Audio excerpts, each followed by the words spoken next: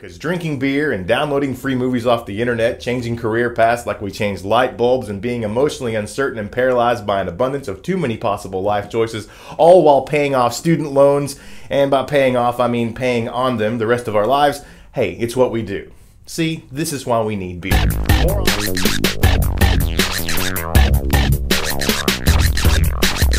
You call me the devil and sometimes even the demon.